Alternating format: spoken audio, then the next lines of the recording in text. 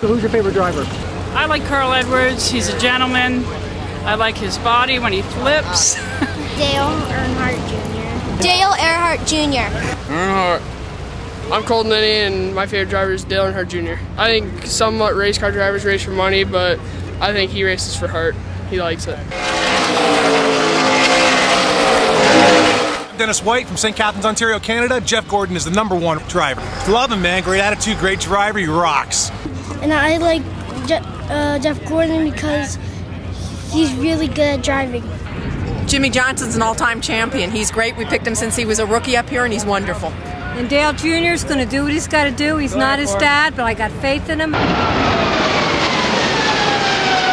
It's Casey Mears. Uh, I just, uh, I don't know, been with him since 2007.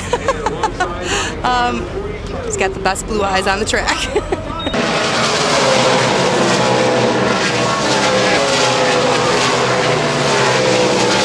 Hi, my name is Terry Turnberg. I'm here at Pocono Raceway, and my favorite man is Tony Stewart Smoke because he's the greatest. I think he has heart, and I think he's going to do it this year.